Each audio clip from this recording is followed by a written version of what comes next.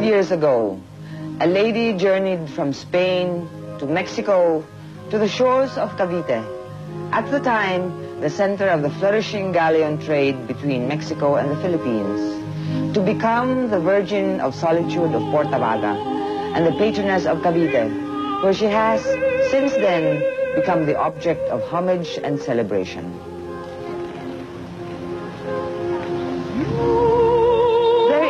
Lady who lives in Cavite City, whose fame was once great and who has been refuge and strength of the Caviteños for 300 years. She is the Virgen de Soledad de Porta Vaga, Queen of Cavite, patroness of the once flourishing galleon trade that built the Spanish Empire. This week, Travel Time invites you to visit Cavite City, once called La Llave de Manila. Just an hour away from Manila via the coastal road, Cavite City is rich in history and steeped in tradition, surrounded almost completely by water and blessed continuously by breezes from the South China Sea. Come with us then to Cavite Puerto and join us in celebrating the glories of her Virgin.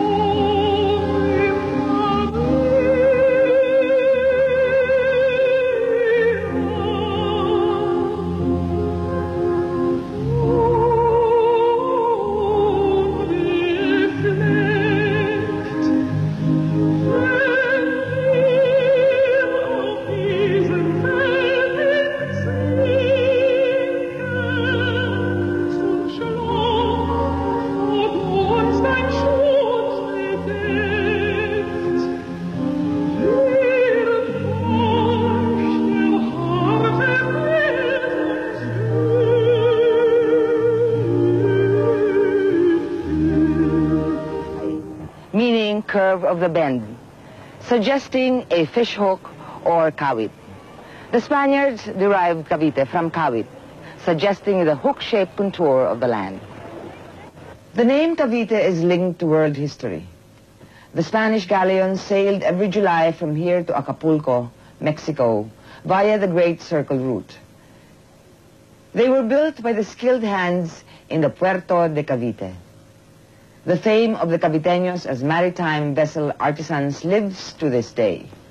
Cavite City played a very important role in the sense that Cavite was the second capital of the Philippines during the Spanish regime. Uh -huh. In fact, it was the center of the Manila galleon trade. Uh -huh. uh, galleons were built and repaired in Cavite. -huh. And uh, everybody that goes to Manila have first to uh, pass by Cavite. Why? Because uh, the waters of Cavite is, uh, was deeper than the, that of Manila. It was actually the present town of Cavite where the Spaniards first settled in 1571. They moved across the small Bacoor Bay to the other side where they discovered an ideal place for repair and construction of ships. It was called Puerto de Cavite. Cavite became known as Cavite Viejo.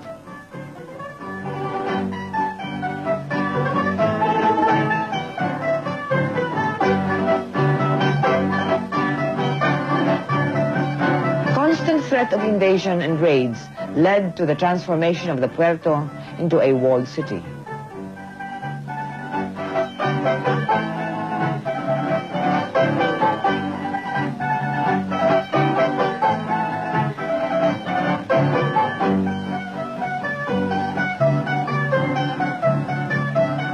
In 1590, they built the surrounding walls or murallas and Fuerte Guadalupe on the south side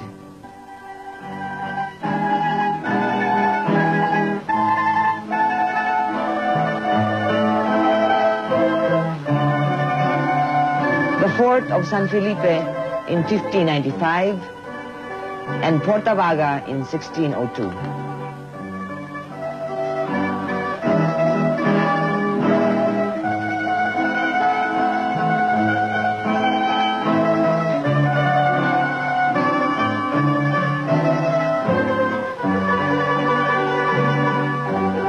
Because of the Puerto's importance and the security it provided, convents and hospitals were erected within.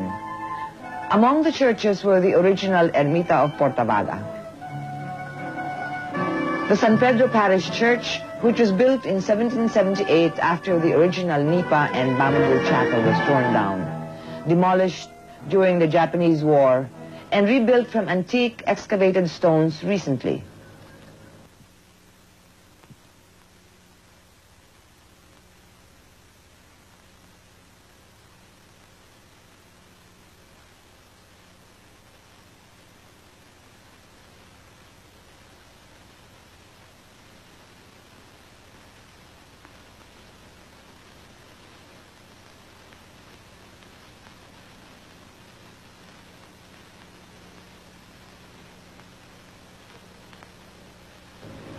Today, only the ruins of the belfry of Santa Monica remains as a mute witness and survivor of the massive destruction of the Japanese War.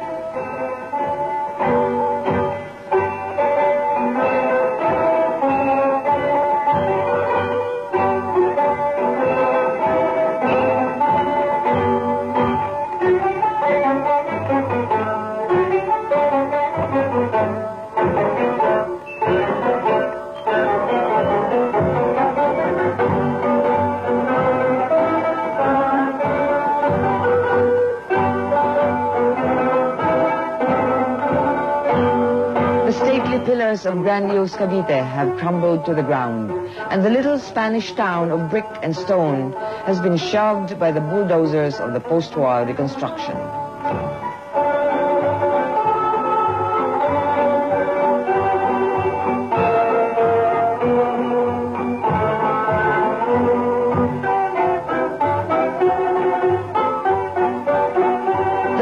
Cavite City is closely intertwined with the story of the Philippine Revolution against Spain. The 13 Martyrs Monument is located at the entrance of the Isthmus of Rosario in memory of the 13 Caviteños who were executed by musketry on September 12, 1896 for alleged conspiracy to overthrow the Spanish government.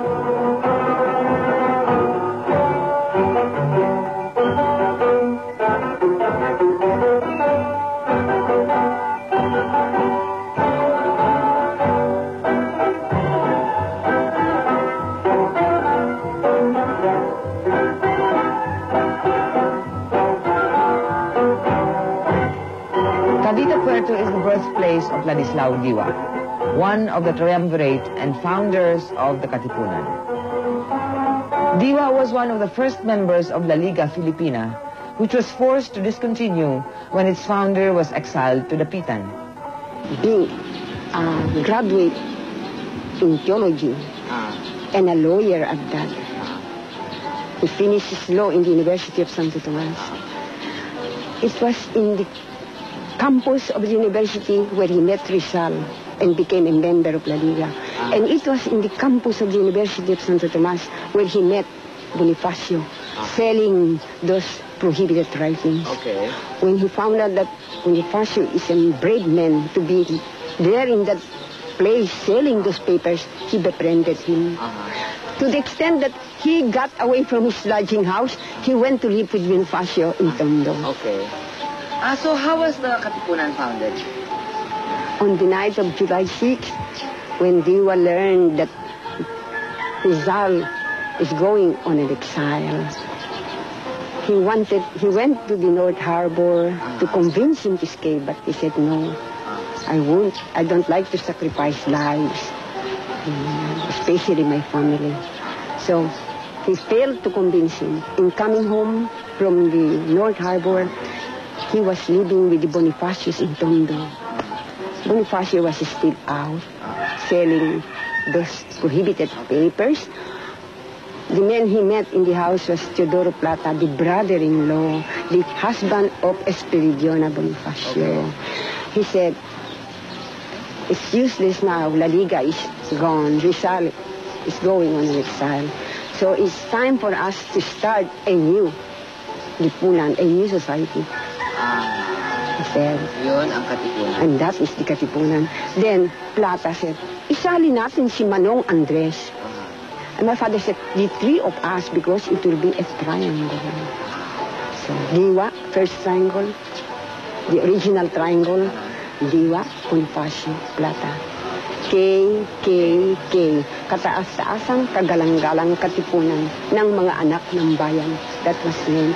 So when Bonifacio came, he said, we will start a new association. That was the night of July 6 when Rizal left for Dapitan. But uh, how was he as a father? He's the most wonderful father. Can you I- tell us some stories about him? understanding, very intelligent. And if I were to have another father, I hope he will be my Father. father again. Diwa was elected provincial governor of Cavite when Aguinaldo proclaimed the Republic of the Philippines in 1898.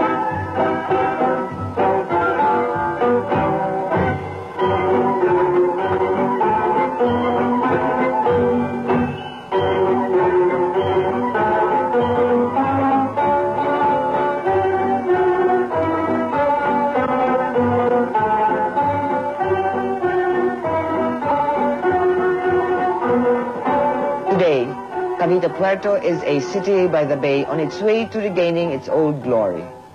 The old Fort San Felipe is now the station of the Philippine Navy. Sangley Point, so named because it was from this point that Limahong escaped, is also a station of the Philippines.